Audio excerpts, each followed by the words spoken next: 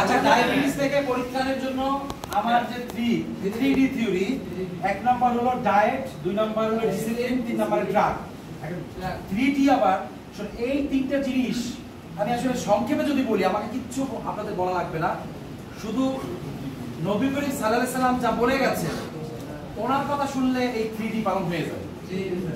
কীভাবে? যে ব্যাখ্যা দিতে গেলে আসলে সময় হবে না। আচ্ছা সংক্ষেপে বলি। আচ্ছা নবী করিম আপনি যদি আমি এখানে বলছি সময় মতো নিয়মিত আর পরিমিত, এই তিন ভাবে খাবে। পরিমিত। এই তিনটা হলো খাবারের, এই ডায়েটের সিস্টেম হলো এই তিনটা। সময় মতো, নিয়মিত আর পরিমিত। এখন আমার ছেলে ছেলেতে বলা হয়ে গেছে আচ্ছা সময় মতো, নিয়মিত এবং পরিমিত। আচ্ছা আচ্ছা এখন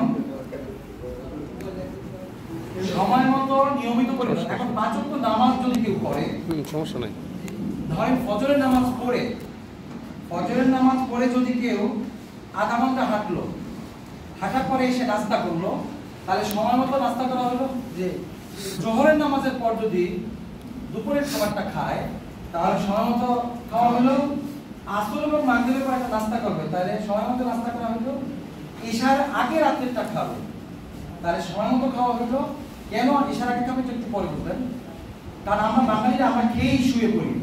তাই এই কারণে আমাদের ডায়াবেটিস এবং হার্টের রোগের আগে যে প্রেশার পড়াইলাম এগুলো বেশি হওয়ার কারণ হলো খেয়ে শুয়ে পড়া যাবে না। এতে হবে এশার নামাজের আগে রাত্রে খাবার। এশার নামাজের আগে রাত্রে খাবার খাই এশার নামাজের এই তেরো রাখার নামাজে ওঠা বসা অর্ধেক হজম হবে। তারপর আবার আধা ঘণ্টা হাঁটতে হবে। হাঁটলে পুরো হজম হয়ে যাবে। তারপর ঘুমানোর আগে যদি একটু ক্ষুধা লাগে তখন এক গ্লাস দুধ বা মুড়ি খেয়ে ঘুমাইতে হবে। এই জন্য আমরা বলি পা- তিন বেলা না খেয়ে ছয় বেলা খেতে বলি, আমি সাধারণত। পাঁচ ওয়াক্ত নামাজে পাঁচবার, আর ঘুমানোর আগে একবার ছয় বেলা বা সাত বেলা খাওয়া যায়। যদি জোহরের নামাজের আগে আর ওই ফজরের নামাজ পড়ে যদি নাস্তা করে, কথা না, কথা। ফজরের নামাজ পড়ে যদি নাস্তা করে কেউ, আমার সময় নাই, তাহলে আমি ধরতাম, যারা যারা কথা বলতেছে। আপনি তাদের আইনে এই জায়গায় করে আপনারা বলবেন। কারণ এখানে কথা বলতে কিন্তু মজা লাগতেছে না। আমি কিন্তু এত কথা না বলে সংক্ষেপে বললাম, শেষ করে চলে যেতে পারতাম কেন যে আপনারা কথা বলে জানি না আসলে। ওই নিজের পায়ে নিজে পুরো মানে ওই আছে না ওই যে এটা আপনারা সেই সেই ধরনের করে আচ্ছা সময় মতো নিয়মিত করে ডায়াবেটিস আচ্ছা তাহলে সময় মতো কি করল করল আর ঘুমানোর আগে দুধ বা মুড়ি দিয়ে ঘুমায় পড়লেন এগুলো ডায়াবেটিস রোগীর খাবারটা এইভাবে যদি খায় তাহলে নামাজের সাথে সময় মতো হয়ে গেল। আর নিয়মিত নিয়মিত রাতের খাবারটা। ওই যে রাতের খাবারটা যে এসার আগে নবী করিম সাল্লাম উনি কি করতেন আপনারা জানেন না? উনি ওই যে আয়েশা সই হাদিস। আয়েশা রাদিয়াল্লাহু তাআলা নাকি উনি উনি না খাওয়ার আগে বা এসার আগে না খাওয়া দাওয়া করে ওই বাইরে বের হইতে যেত। এটা হলো এই আমি যা বলছি তাই কিন্তু হয়ে গেছে। তার তার অ্যাক্টিভিটি কিন্তু এরকম এবং গিয়ে সে দৌড়ের প্রতিযোগিতা করতো যে কে আগে দৌড়ে যাইতে পারে। জি, জি। কিন্তু হাদিসে আছে। কারণ কি? খাবারটা হজম হওয়ার জন্য এটা কিন্তু মশকরা করতো মানে এটা কি দেখাইছে দুইটা জিনিস। এক হলো সে হাজবেন্ড ওয়াইফের সাথে রিলেশনটা তখন মধুর হইতে পারে আর দুই হলো খাবারটা হজম হওয়ার জন্য সে দৌড় এই জন্য সময় মতো নিয়মিত তার নবী করিম সাল্লাল্লাহু ওয়াসাল্লাম বলছে পরিমিত নবী করিম সাল্লাল্লাহু ওয়াসাল্লাম বলে গেছে। কি বলছে কি বলতে পারে? পেটে তিন ভাগে এক ভাগ খাও এক ভাগ পানি খাও আর এক ভাগ খালি রাখো। তো কাজী আমার ডায়েট শেষ। নবীর কথা শুনলে diet শেষ। ডিসিপ্লিন তাও তো নবীর কথা ওই যে হাঁটতে ওই হাঁটা বললাম না ফজর নামাজের পর এসার পরে হাঁটলেন ডিসিপ্লিন শেষ। আর ড্রাগ ড্রাগ হলো ইনসুলিন বা ওই ওষুধের নাম দিয়ে একটা দিয়ে দিন।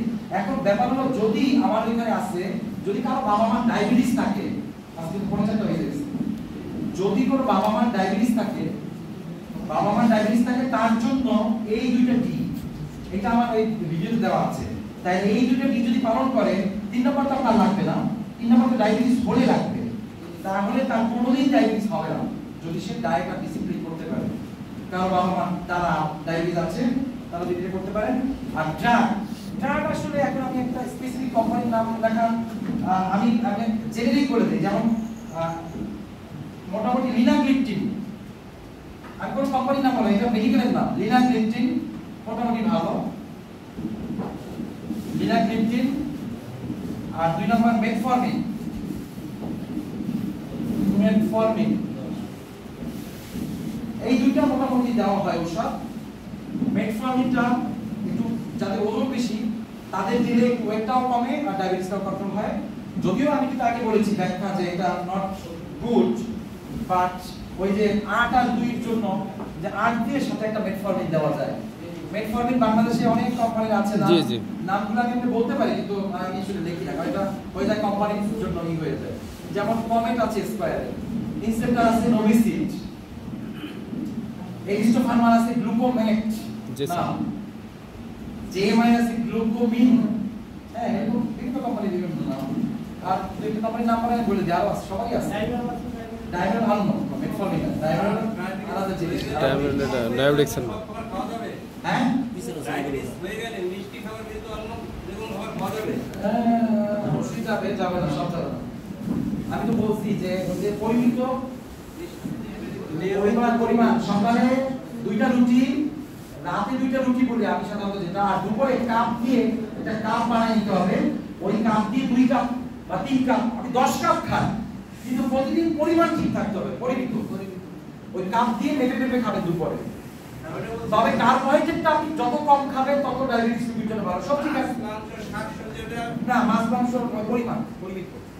আপনি রক্ত নালীতে চর্বি বাড়বেই ডায়াবেটিস রক্ত নালীতে চর্বি বাড়বেই এই জন্য মাংস বেশি খাওয়া যাবে না। ডিম ডিম তো এমনি ডায়াবেটিস যাদের হয় চল্লিশ বছরের পর এমনি আমরা বলি ডিমের সাদা অংশটা খান লালটা না খাওয়ার জন্য। ঠিক আছে? ধন্যবাদ সবাইকে। আর কোনো প্রশ্ন থাকলে আমার